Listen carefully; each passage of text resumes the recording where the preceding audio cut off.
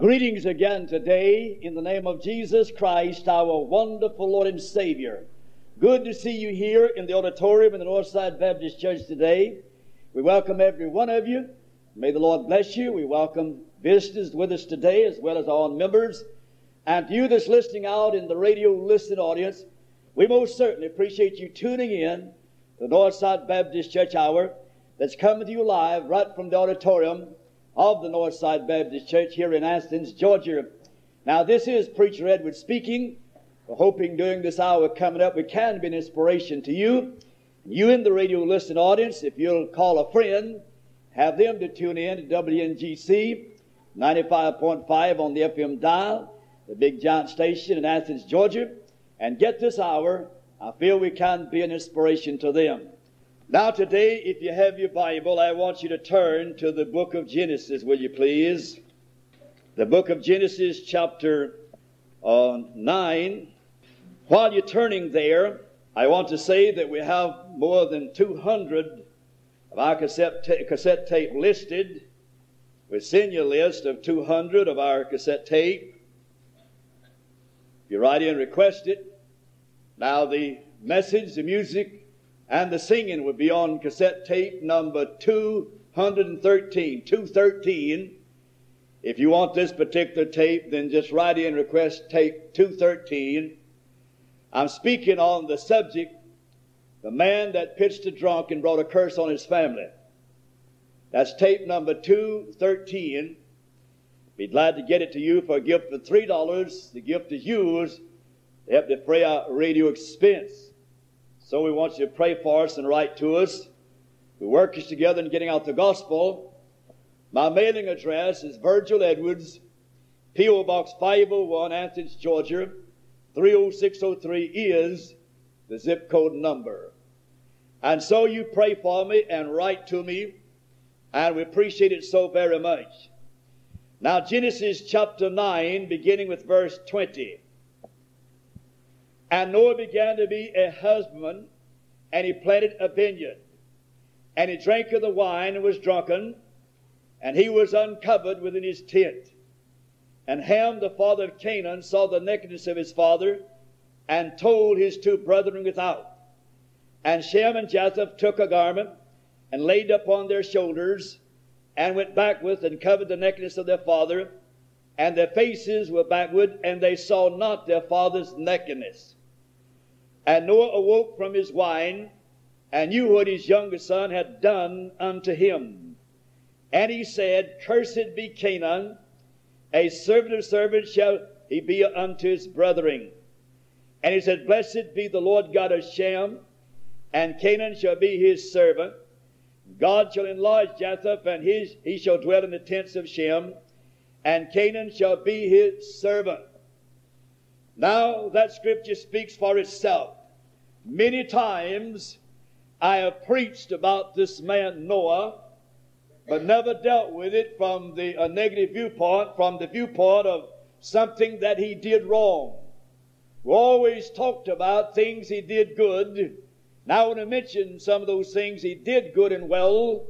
But I want to remind you that after he did these things, he did something wrong. Now the purpose for this message is this to let you see you're not immune to the attack of the devil in your old days or after you served God for a long period of time. This man was around 600 years old whenever he built the ark, and then, of course, he lived some 300 after that uh, time. But the man did something wrong after he had done all the good. And that's the thing we need to be concerned about today.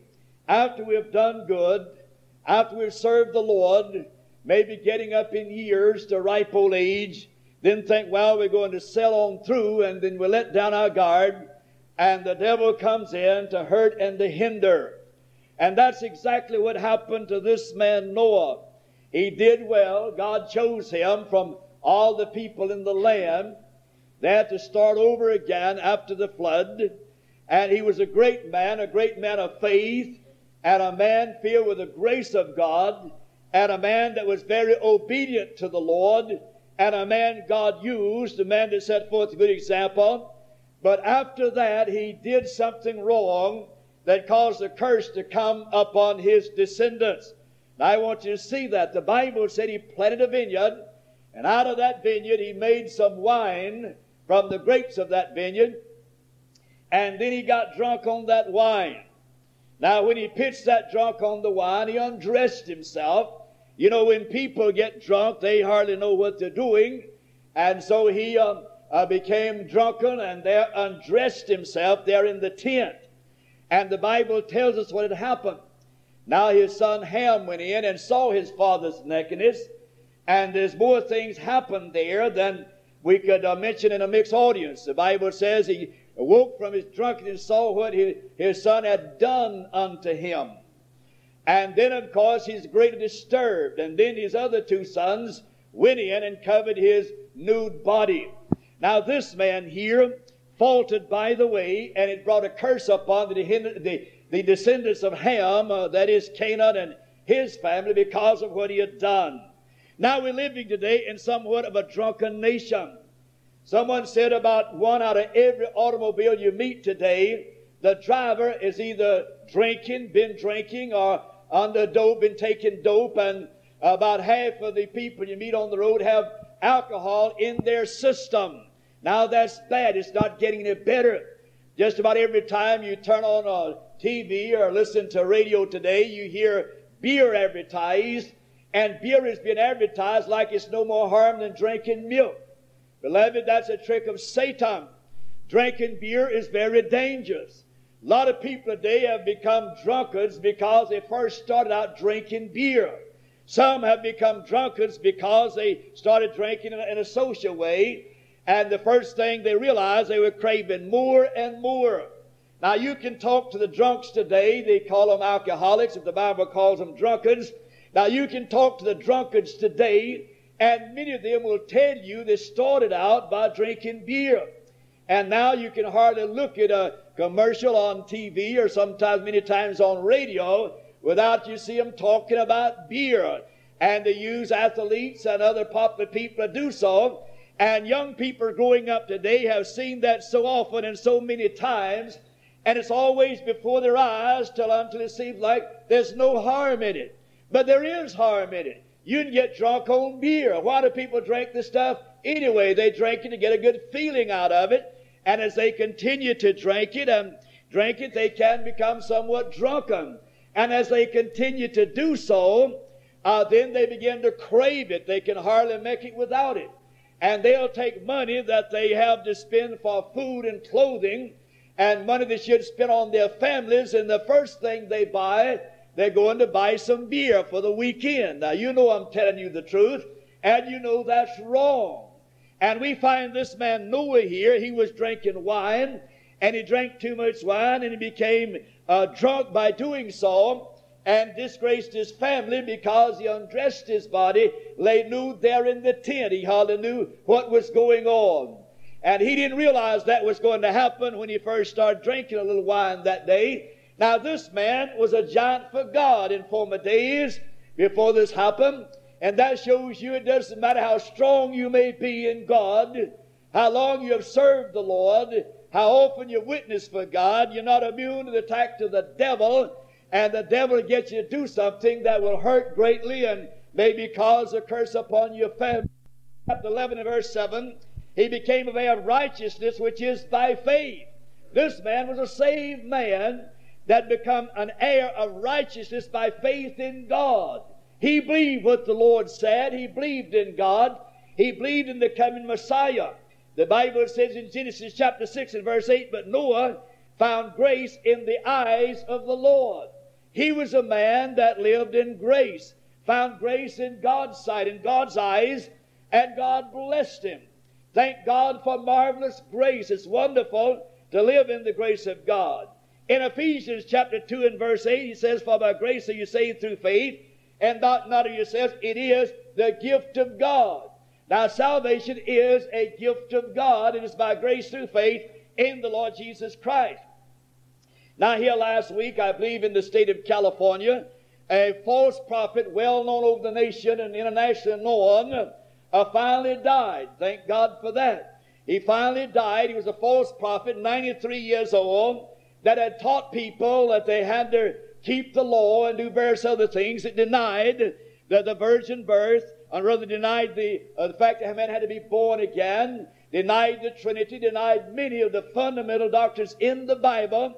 And he lived, of course, to be 93 years old and sowed poison doctrine and his poison literature and his um, uh, television minister over this nation, his minister rather, and finally died at the age of 93. I thought he never would die, but he finally did and uh, went on into eternity. Now, this man, of course, the nation is better off uh, by not having this false prophet alive in the land. Anytime you have a false prophet to die, you hate for them to go to hell, but they determine that themselves, and they go to hell because they don't believe in the truth of the Bible, and they're not going to get saved. And anytime a false prophet dies, then the, God's people are better off. So God's people are better off by the, the death of this false prophet that spread his uh, false doctrine over the nation for many, many, many years, even establishing a college and working out through that college, receiving multitudes of young people. But anyway, uh, we find that Noah found grace in the eyes of God. Now, this false prophet I just mentioned did not believe in the grace of God for salvation. He did not believe that at all. Therefore, he knew nothing about it anyway. Now, secondly, this man that pitched this drunk, one of God, warned of God of things not seen as yet. Now, God said to him one day, He said, Now, Noah, I'm going to destroy the entire human race from off the face of the earth. The Bible says in Hebrews chapter 11 and verse 7, by faith Noah being warned of God of things not seen as yet. Now you may say, preacher, what did he mean by things not seen as yet? Well, God had never destroyed the earth with a flood like this, as far as we know, and it hadn't rained upon the earth uh, before this particular time when God told Noah what he was about to do.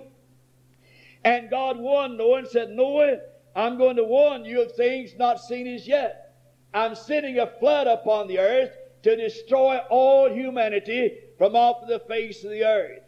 And he said, Noah, I want you to build an ark, build a boat, and then I want you and your family to enter into that boat. Now you must remember, Noah had to build a boat on dry ground without any water to float it and that boat was about five times the length of this church. And this church is 100 feet in length. And, and it was about, um, about as wide as this church is long and three stories high. Now he said, um, uh, uh, Noah, I want you to build a huge boat out on dry land a long way from the sea. Now Noah started building a boat, mind you. It never rained upon the earth prior to this time and he had to build that boat by faith, believing that God would float it. No doubt some of the people came and said, Now, hey, Mr. Noah, what are you doing? He said, I'm building a boat. Oh, you mean something that uh, floats on water? Oh, yes. Something that the water will carry up and it'll float on the water. And they said, What do you mean, man? How are you going to get it to the ocean? He said, Never mind about that. I'm not going to take it to the ocean. God's going to send the water for the boat here. Why, they said, Oh man, uh, you cracked in the head. We don't believe a word of that. But Noah, by faith, built that boat. He hammered away, and for 120 years, he and his three sons preached and worked on the boat. No doubt they were called uh, nuts and cranks and, and uh, uh, ignoramuses and everything to be thought of in that day. But they went ahead and built the boat anyway. God warned him of things to come in Hebrews 11 7, by faith Noah being warned of God of things not seen as yet. And in Genesis chapter 2, verses 5 and 6, the Bible said, God had not caused it to rain upon the earth, but there went up a mist from the earth and watered the whole face of the earth. So it hadn't rained at the time he was in the boat building business. And he had to build it by faith, believing that God would furnish some water to float it.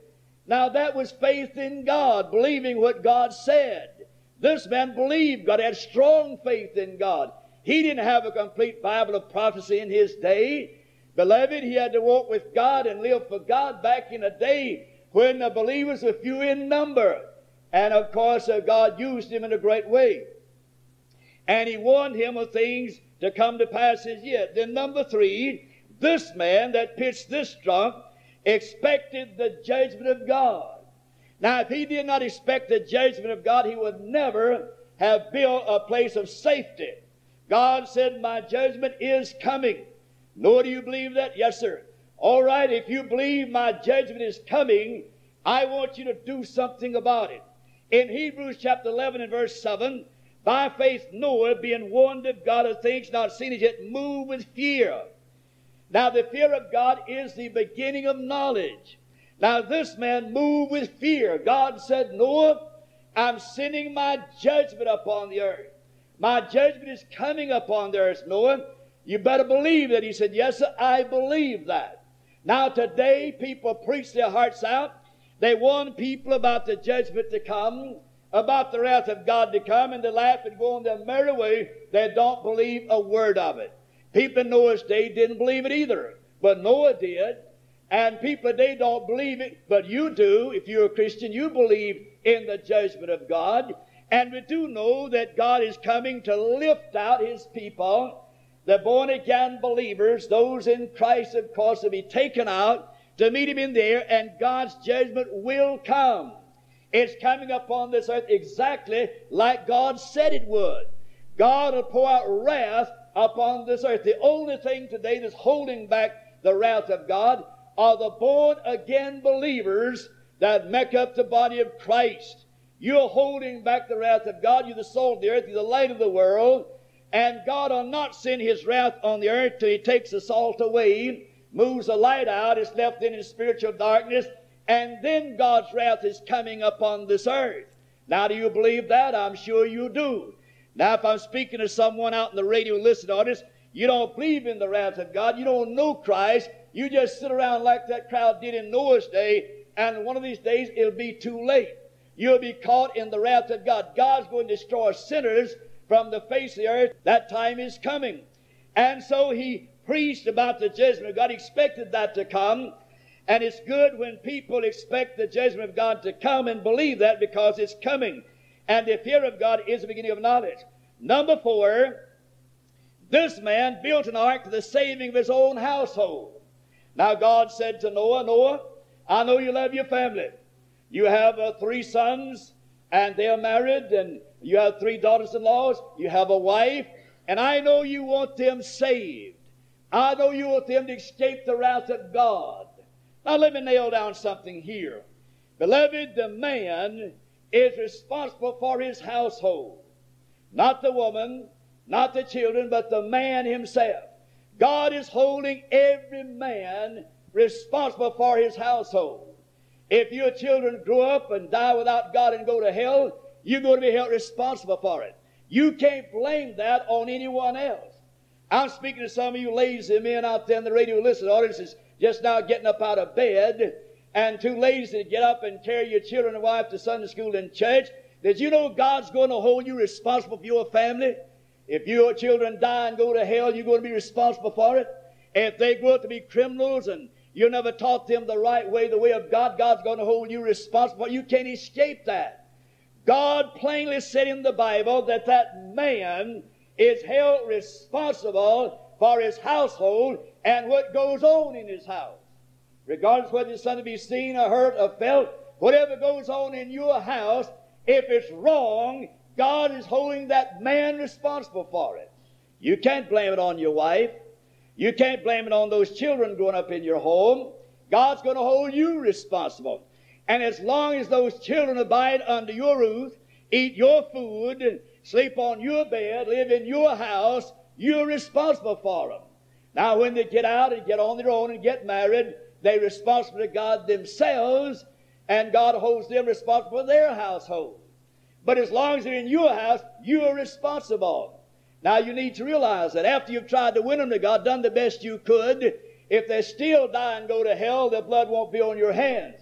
But otherwise, it will be. And Noah was responsible for his family.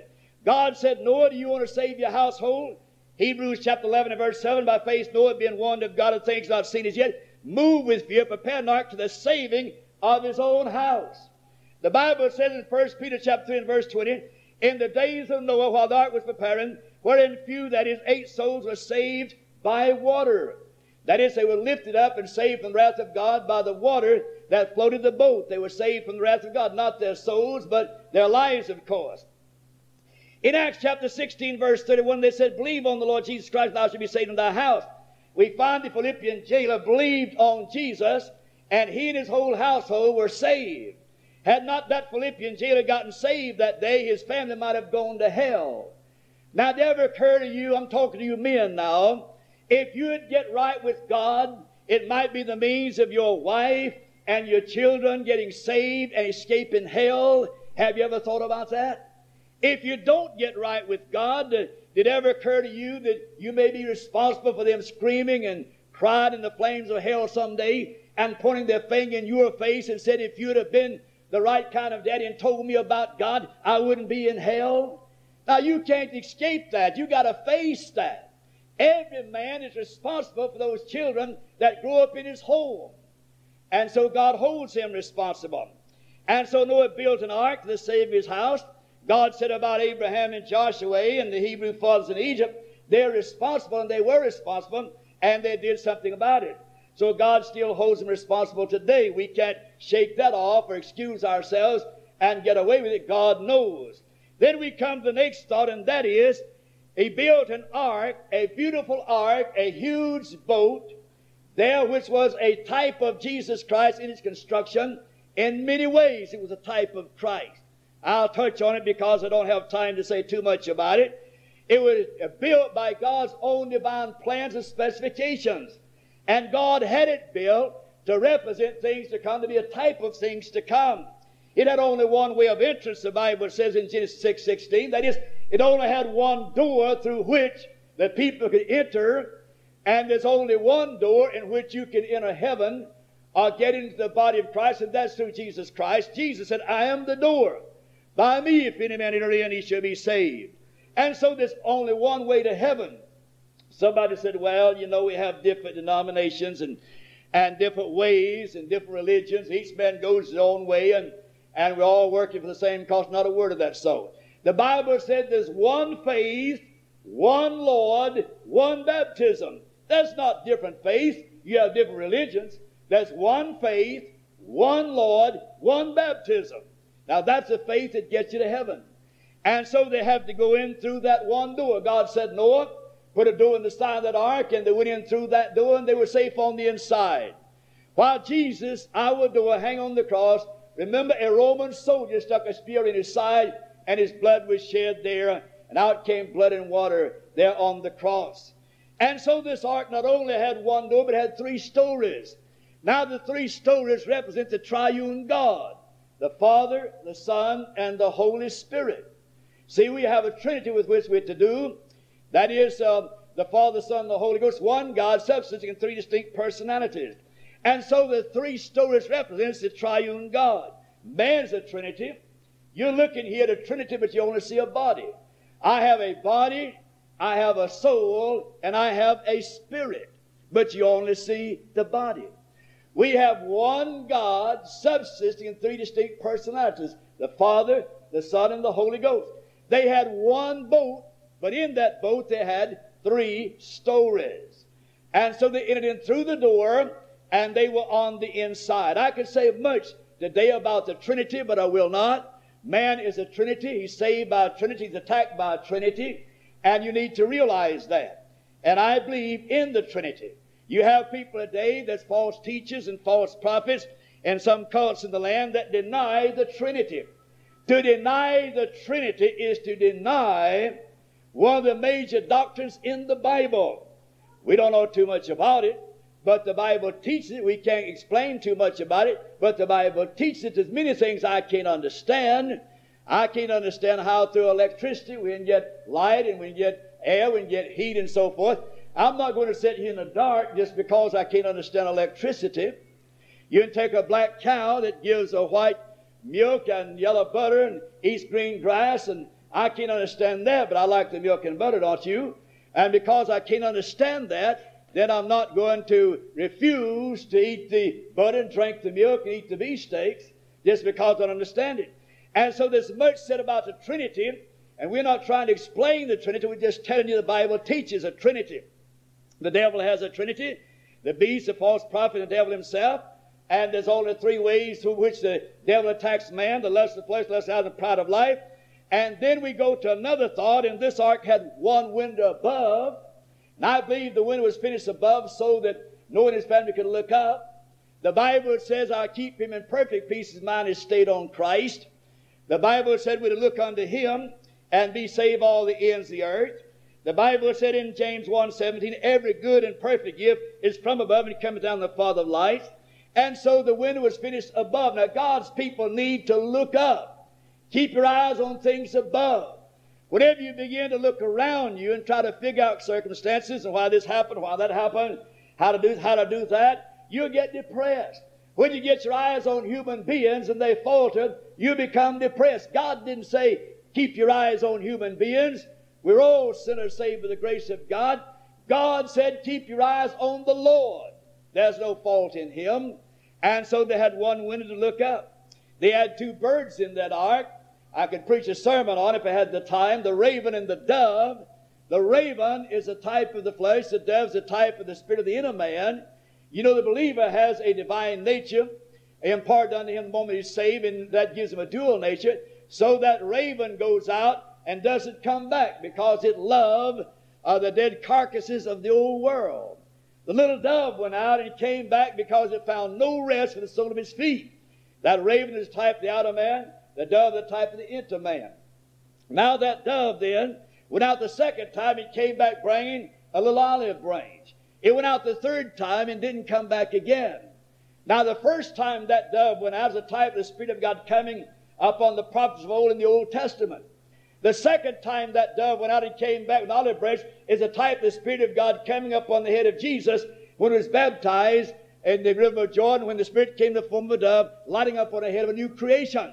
He brought something new back. He brought back something new of a new creation, as it were. When that dove went out the third time, and did not come back anymore. That's a type of the Holy Spirit coming on the day of Pentecost to remain on this earth until God carries the church home.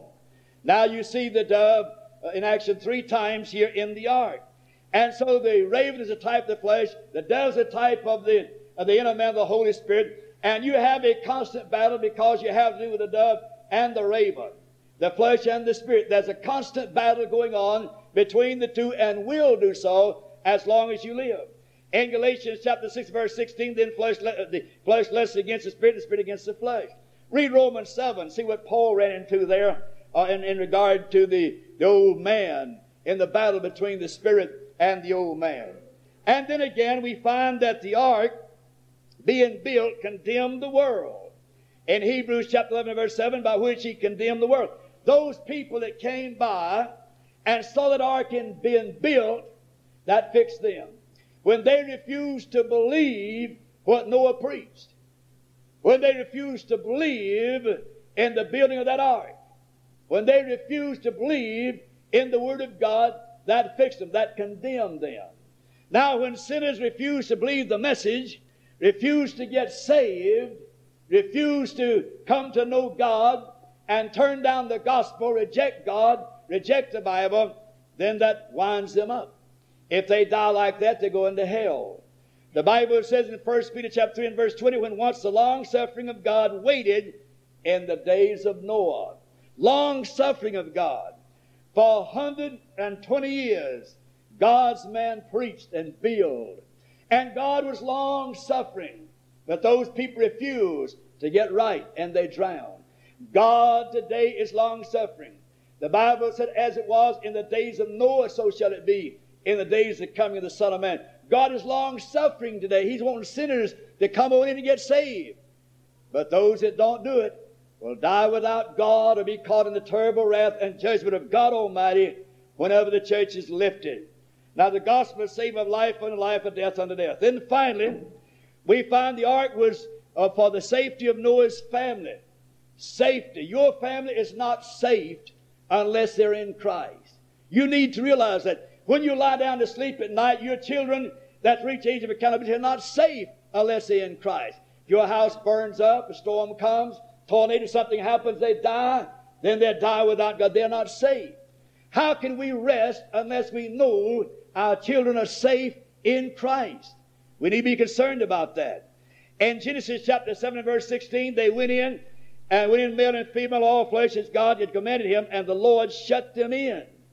And so God invited them in, and God shut the door, and Noah built that ark for the safety of his own family. And his family went in, and they were saved. Now Noah built that boat. It's up to every man to build a boat, as it were, for his family. And if he don't do it, if Noah had to build that boat, him and his whole family drowned. Now it's up to that dad to build a boat, as it were, for his family. And if he don't do it and they die and go to hell, God's going to hold him responsible. Back during the days when the communists took over North Korea, they rounded up the Christian people and drove them into a little church there. And then there was a picture of what some call the picture of Jesus today hanging on the wall. And those communist soldiers came and put that picture on the floor and said, if you will come and spit on that picture, renounce your faith in Jesus Christ, you can go free. Several of them did that through fear. But one little teenage girl came down and she refused to spit on that picture. And they took her on the outside. And they heard the shots as a bullet went through her little body. And there she fell dead, went on to be with God. Dear people, what are you going to do when real testing comes? Noah lived to be 900 years old approximately. There, there he built the ark and lived in the world a long time. And then all of a sudden he gets drunk and brings a curse upon his descendants. God put a curse on the descendants of Ham, his son that saw him naked, and they became a servant of servants unto their brethren. A curse fell upon them because of what Noah did by pitching that drunk. And there his what happened to him while he was naked in his tent. God help us today to realize we're not immune from the attack of the devil. I don't care how old we become, how long we serve God, we still have to keep up our guard or else we're in trouble. Thank you. You've listened well today. Let us all stand to our feet. Our Father, I pray today that you bless the message, that you'll use it, that you speak to hearts, not only our Father here in the church, but speak to hearts out in the radio listening audience. I pray in Jesus' holy and lovely name. Amen.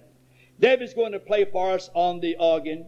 As she plays, if you're here unsaved, backslidden, or you want to come back to God, want to join this church, or for any reason God is speaking to you, you want to come forward, I want you to come while she plays.